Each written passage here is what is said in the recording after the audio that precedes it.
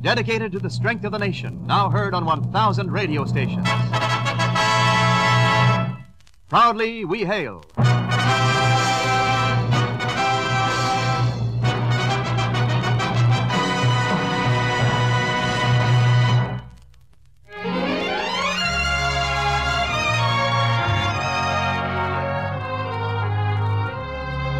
Yes, Proudly We Hail, starring Angela Lansbury in Birthday for Martha, a United States Army and United States Air Force presentation.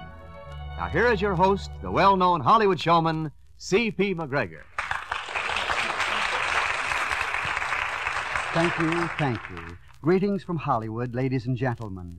And once again, a cordial welcome to Proudly We Hail, where each week you hear a star of your choice in a story we know you'll enjoy. Our star, Angela Lansbury, is just now coming into her own as one of the truly fine young dramatic actresses of motion pictures.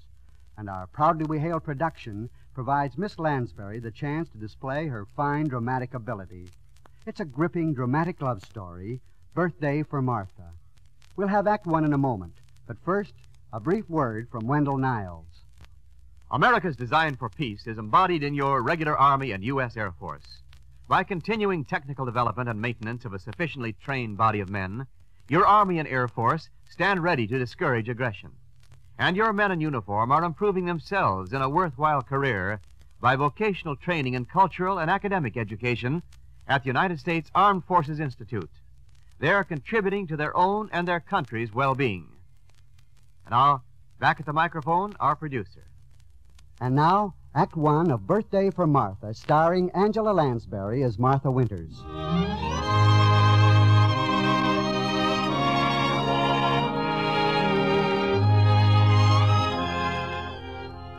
It's evening, a time meant for home and the family circle. But while millions of families all over the world are gathered together to share their lot, a group of women in a falsely gay dining room of a Reno hotel are gathered together to anticipate the shattering of their family ties. Among them is one much younger than the rest, a girl who seems strangely out of place. Her name is Martha Winters. Why so quiet, Martha? I didn't realize that I was. Well, you're not exactly a gay mad thing, you know. I'm sorry, Mabel. Oh, forget it. It's just that this happens to be my birthday. And it isn't at all like other birthdays. I know, honey. But you should have thought of that before you came to Reno. if I did, I wouldn't be back here. So I told him, look, I gave you the best year of my life, and now you pay off. Oh, oh, oh, How can they be so callous about divorce, Mabel? Don't they realize what they're doing? What it means? Better than you do. The laughing's just a phony front, honey. When they go to bed tonight, they'll cry on their pillows just the same as you. And me. And still they go through with it? Sure, for the same reasons we will. They're either too proud or too stubborn or their husbands are. To admit that the faults aren't all on one side. I'm not too proud. Hmm? Or too stubborn either. I'm going up to my room to call Jim and ask him to come and take me back.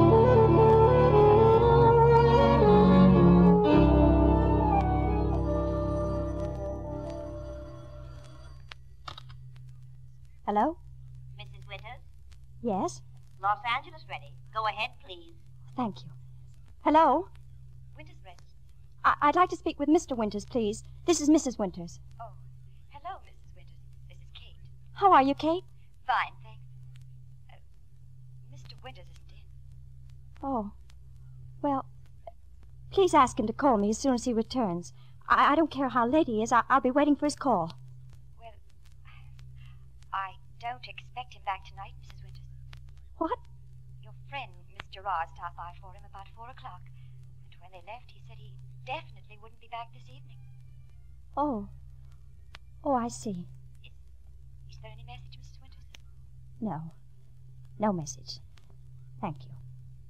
I- I'll write him a letter.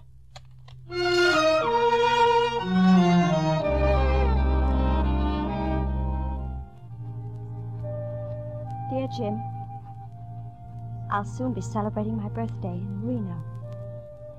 The only one we haven't spent together. But it seems like forever.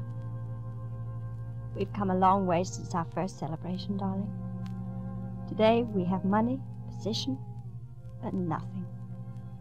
Then we had nothing and everything, each other.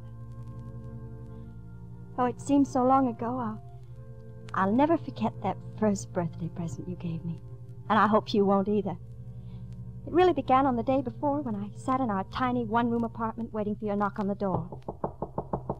Coming. Have any luck, Jim? I raised three dollars on my watch. Did the check come? Well, not in this morning's mail. I haven't been down to look this afternoon. I'll go right now. It's not necessary. The postman was leaving as I came in. There's nothing in the mailbox. Oh. Well, maybe it'll come registered or, or special delivery. Or two weeks from now. Why can't publishers send the check when they accept a story? Writers want to give their wives birthday presents as well as publishers do. Oh, Jim, dear. I don't have a thing for you. I was planning on that check. We'll get it eventually, Jim. Eventually. And in the meantime, we're better off than a lot of other people. We have each other. And three dollars. Don't forget the three dollars. Say, that's right. Let's go shopping. Hmm? Oh, I'll get some hamburger. And, well, I could make some mock chicken legs and salad and sweet potatoes. But it's raining. The weather can't stop happiness. Put on your coat and let's go.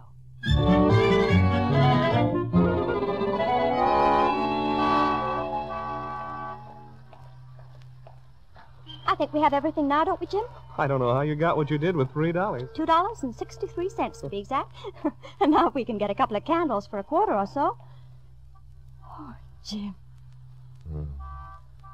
Gosh, I love you.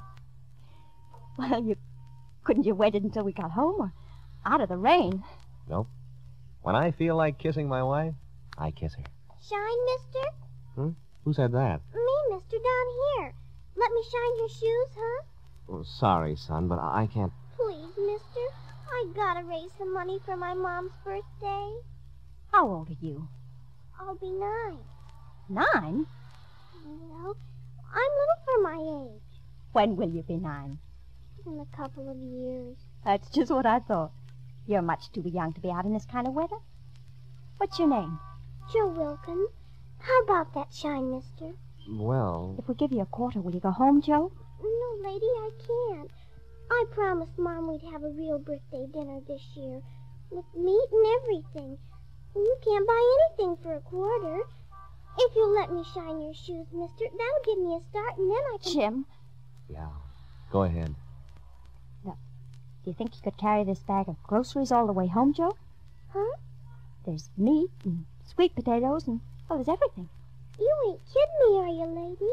No, Joe, I'm not kidding you. It's my birthday, too, see? And I'd like your mother to have her birthday dinner. Gee. Gee, I don't know what to say. Except thanks and happy birthday. Tell your mother happy birthday, Joe. Gee, And here's your quarter. Maybe you can buy a couple of candles. you people must be awful rich. We are now. Aren't we, Jim? Yeah. Jim. Hmm. As I said before, when I feel like kissing my wife, I kiss her.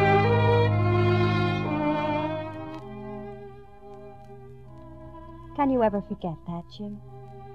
We bought a can of soup with our remaining 12 cents and returned home to find that the letter containing our check had been slipped under the door with a note from Mr. Oliver saying it had been put in his mailbox by mistake.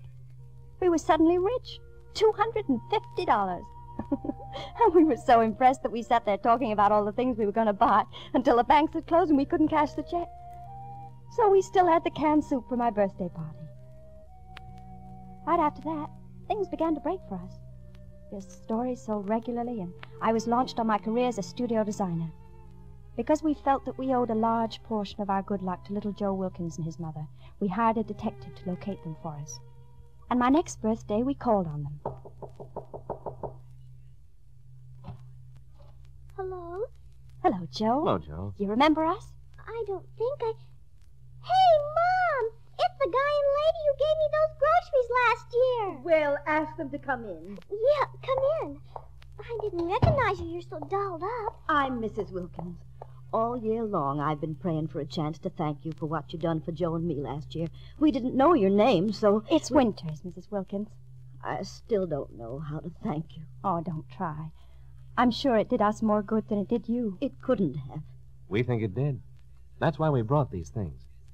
Those things for us? And there's a cake with candles in the car. Gee. Were you ever able to get that couple of candles last year, Joe, with your quarter? No. That is, I didn't try exactly. I used the quarter to buy Mom a present. Those earrings she's wearing now. Aren't they pretty? I think they're beautiful, Joe. Just perfectly beautiful. You aren't mad 'cause I didn't buy candles, are you? Oh, of course they're not, Joe. Joe's a good boy. He certainly is, Mrs. Wilkins. If I ever have a son, I, I'd like him to be just like Joe. Mm, Thank you, Mr. Winters. That's the nicest birthday present any mother could ask for. I think so too, Mrs. Wilkins. Come on, Jim. Let's go home. We have to put up decorations for the party.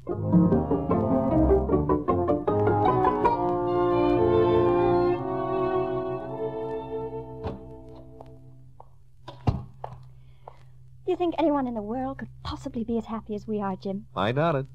Now, if we just had three or four kids. Three or four? Oh, we haven't been married two years, you know. So what? The Dionne's did it. Well, you'll have to admit that was a little unusual. yeah, I suppose so. Still, it seems to me that if a gal as smart as you really put her mind to it. Hey, where are those streamers? In that box? Oh, yeah, they're right here beside the ladder. I'll be right in. Gosh. You look even lovelier tonight than you did a year ago. I have more reason to. Would you really like to have children, Jim? Would I? What a question. I'm glad. Because that's the way I feel. And, Jim, we're going to have one. We're going to have a baby? Well, when did you find out? Well, I saw Dr. Brown the day before yesterday, and he confirmed it. I waited until tonight to tell you. Something extra special. Why, that's wonderful. Oh, darling, I, I love you so much. Here, here, sit down. L- let let me get you a cup of hot chocolate or something. Oh, please, Jim. Now, don't give me that. You've got to be careful.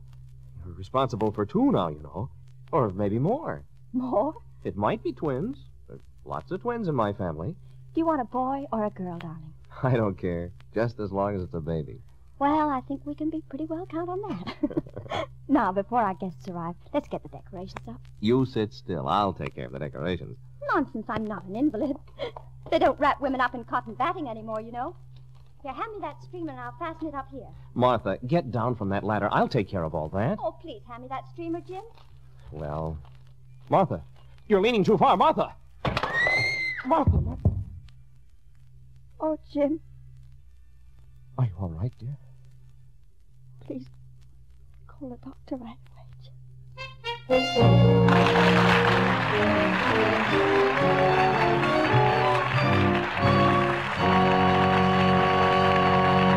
We pause briefly from our story, Birthday for Martha, starring Angela Lansbury, to bring you an important message.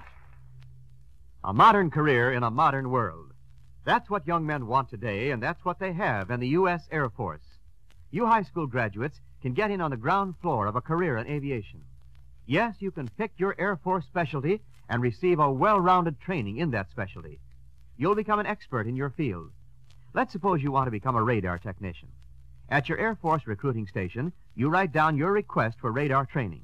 Then, if you qualify, and after you are accepted for the Air Force school that gives you that training, you enlist for three, four, or five years.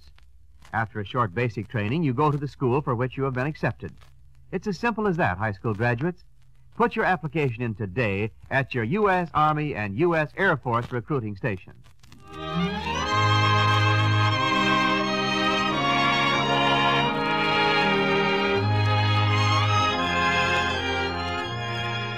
And now, Act Two of Birthday for Martha, starring Angela Lansbury as Martha Winters. Spending her birthday in Reno, waiting for her divorce, Martha Winters changed her mind and called her home in Los Angeles to ask her husband, Jim, to come and take her back. But his call was too late. Jim had already left the house with Martha's best friend. In a letter she is writing to Jim, Martha is sadly reliving their life together. When I fell from that ladder and lost our baby, it was the beginning of the end for us, Jim. During those days and nights that I lay on that hospital bed, I made up my mind that I would never again have a child. I know it was foolish, perhaps even wicked, but that was the way I felt, Jim. And there didn't seem to be anything I could do about it. And despite all the tender understanding you offered me, I turned from you and buried myself in my work. During that year, we gradually drifted apart. When my birthday arrived, it seemed almost as though we were two strangers sharing the same household. Because I was afraid to be alone with you in the memories of past celebrations. I had a crowd in that birthday, open house for a lot of so called smart people. You didn't like them. Oh, no, darling. Perfectly wonderful. Well, darling, I didn't expect to see you here. Oh, why not? Their food and drink's as good as anyone else's. As a matter of fact, that's the way I feel. I know she's the designer at the studio, but darling, who is he? Oh, he writes or paints or something or other. Did you say these people were your friends, Martha? Of course they are. They all work at the studio. No wonder their pictures are bad. Do they have homes, or do they just crawl back into the woodwork when a party's over? Jim, you. I'm sorry, dear. Just that I wish they'd all go home so that we could go down and see Joe Wilkins and his mother. Why should we go see them? Well, I, I thought maybe if you saw Joe again, it, might help you to. Well, it wouldn't. I don't want ever to see Joe again, or his mother. Ought to be reminded of him. Oh. Well, in that case, if you'll hold down the fort, I'll go down and see them myself. I got Joe an electric train as well as something for his mother. Why should you do a thing like that? Well, if I had a boy of my own, I. I'd like to see his face when he got his first electric train. And since I don't, I suppose you're blaming me for that, too. I suppose if I'd taken your advice and stayed off that ladder, we. please, Martha. I didn't know it would affect you this way, or I, I wouldn't have mentioned Joe. Well, I, I'll be on my way. Maybe by the time I get back, this mob of sponges will have soaked up all the liquor and gone. Mr. Winters, Yes, Kate? there's a, a Mrs. Wilkins and a boy at the door. We'll bring them in, Kate. In here, sir? With your guests? Certainly. They're friends of ours. If the guests don't like them, the guests can get out.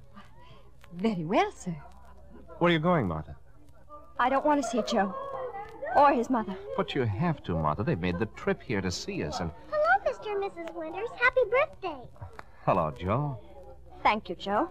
It's good to see you, Mrs. Wilkins. Oh, thank you, Mr. Winters.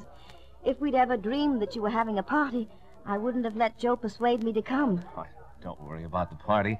As a matter of fact, I was just about to leave for your place. Well, I told Joe you'd come, but he was afraid something might happen to prevent it, and I so got then some we. presents for you folks this year, and I just had to be sure you got them. These socks are for you, Mr. Winters. Mom knitted them herself. Thank you, Joe. They're the finest pair of socks I ever owned. And I got you a pair of earrings, Mrs. Winters, like the kind I got Mom. The ones you thought were so beautiful. Thank you, Joe. I almost wasn't able to get them. They cost 50 cents now. Oh, Joe. I'm sorry, Mom, I forgot. Mom's taught me not to talk about what things cost, but if you knew how hard it was to get that 50 cents, I guess you'd forgive me. We do know, Joe, and we appreciate it. Well, we didn't mean to interrupt your party. We'd better go, Joe. I'm sorry you have to run. Jim, why don't you give Joe and Mrs. Wilkins a ride home? But they just got here. Mrs. Wilkins looks very tired. All right, I will. Come on, Joe, Mrs. Wilkins. I have some packages for you at the door. We'll pick them up on the way out. Oh, Fine. Happy birthday. yes. Well, goodbye, Mrs. Winter, and uh, happy birthday. Goodbye. Joe, goodbye. Mrs. Wilkins, happy birthday. You, um, don't know how much we appreciate having you come all the way out here, Mrs. Wilkins. Well, I wish we'd phoned first. Is Mrs. Winters ill?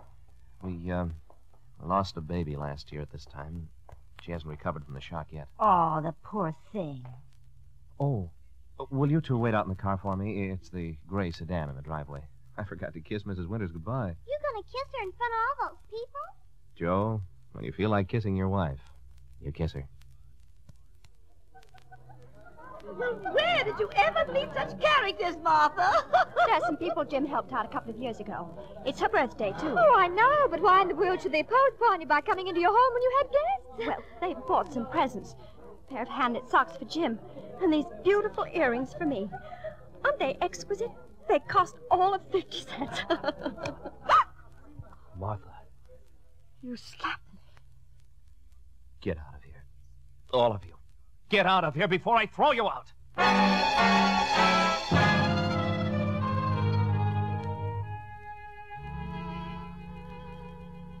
When you slapped me, Jim, the world came to an end.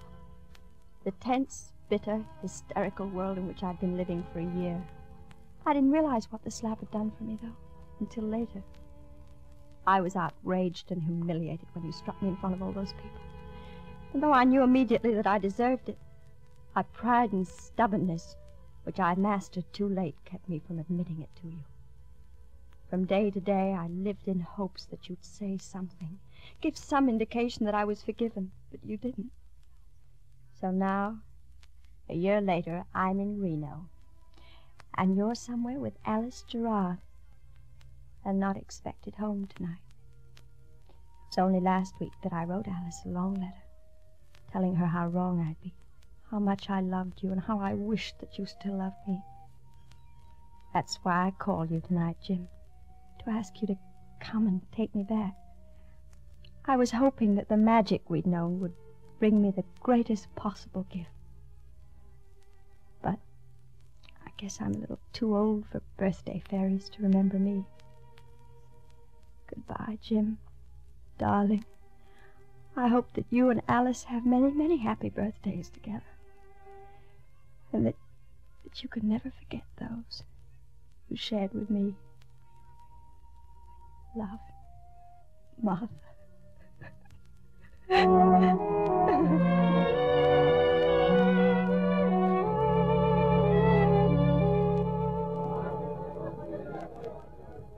I didn't expect to see you back in here, Martha. Well, it's better than sitting up in the room. Yeah. Talk to your husband, honey. No. He was out, and he isn't expected back tonight. Well. He's out with my best friend. Oh, honey, where there's a man involved, a woman doesn't have any friends. Are you sure you love him? More than I ever thought possible. Oh, then why don't you get on a plane and fly back to L.A.? You can't fight some other gal with memories. But I'll give ten to one you'll take him away from her if you're on the scene. Ha! You've got the weapons to do it. I think I'll try it, maybe. a girl! Alice Gerard thinks that she can take Jim away from Did I hear someone mention my name? Jim. Happy birthday, Martha. Oh, thank you. How how did you get here? Flew? Oh. Where's Alice? Alice? Alice is in Los Angeles, I suppose. She showed me the letter you'd written her last week and drove me to the airport. She showed you that that letter? Yes. Did you mean it? That you wanted to call off the divorce, wanted to have a family? Oh, yes. Yes, Jim. Oh, darling. If I'd even guessed that you felt that way. That's what I've been waiting to hear, Jim. And let's get you checked out of here. There's a plane leaving for Los Angeles in less than an hour. Oh, Jim. This is the most wonderful birthday present you've ever given me. Hey, hey, Martha. Everybody in the place is looking at us. I don't care, Jim. Let 'em look. When I feel like kissing my husband, I kiss him.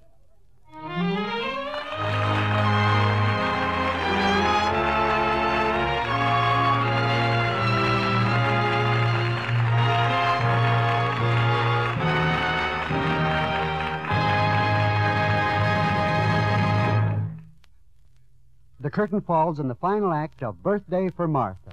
Our star, Angela Lansbury, will return for a curtain call after this timely message from Wendell Niles. Veterans, here's another great opportunity in the Army for you. You have your choice of eight famous Army outfits, all now stationed in the United States.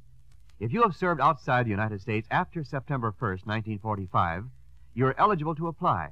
And here are the units for which you can enlist directly the 2nd, 4th, 5th, and 9th Infantry Divisions, 2nd and 3rd Armored, 2nd Engineer Special Brigade, and 82nd Airborne. And here's something special for you men who have served in the 3rd Infantry Division. You can now enlist directly for the 7th Infantry Regimental Combat Team, stationed at Fort Benning, Georgia. As long as your record is good, you'll stay with that outfit you've signed for, too. Some of you will be able to enlist in grades through sergeant, and that means even more of that high Army pay. So, veterans, take advantage of this enlistment feature especially designed for you. Get complete details right away at your nearest U.S. Army and U.S. Air Force recruiting station. Now, once again, our star, Angela Lansbury, and our producer. She's the daughter of the famous English stage star, Moyna Macgill, and a young lady who has already made an enviable mark as a dramatic actress in motion pictures. Of course, I refer to our proudly we hail star, Angela Lansbury. Angela, we thank you for a fine performance. You're most generous, CP. It was really fun. If I may say so, Angela, the new look looks very becoming on you. Well, thank you, CP. You couldn't have said anything more flattering. You see, clothes are my hobby. Oh, that's very interesting.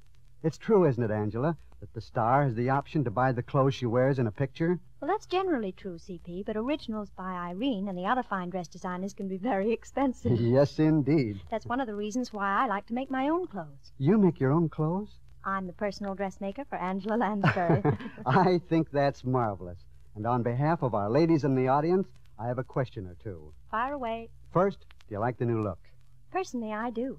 And uh, do you like the ballerina length for dinner? I think it's most becoming. One more. Do you like the extreme Parisian silhouette? No, I don't. But I think there's much charm and grace in the modified version of the Parisian silhouette.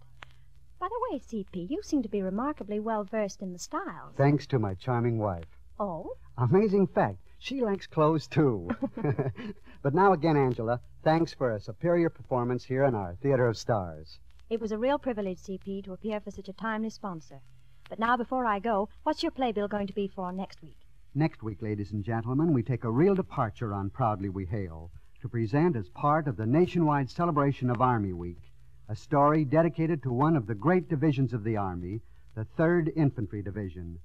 Our drama is called The Letter, and our star will be that sterling young actor of motion pictures, Dennis O'Keefe. That's a must, CP. Count me in. Goodbye. Goodbye, Angela Lansbury. Goodbye. Thanks for dropping over. Again, ladies and gentlemen, we invite you to join us in your Theater of Stars for our dedicatory show to the 3rd Infantry Division starring Dennis O'Keefe. Until next week, this is C.P. McGregor saying thanks for listening and cheerio from Hollywood. Angela Lansbury appeared through the courtesy of the Hollywood Coordinating Committee, which arranges for the appearance of all stars on this program. Story was by Bill Hampton, with the orchestra under the direction of Eddie Scrivener. Remember next week, Proudly We Hail stars Dennis O'Keefe. This program was transcribed in Hollywood for release at this hour. Wendell Niles speaking.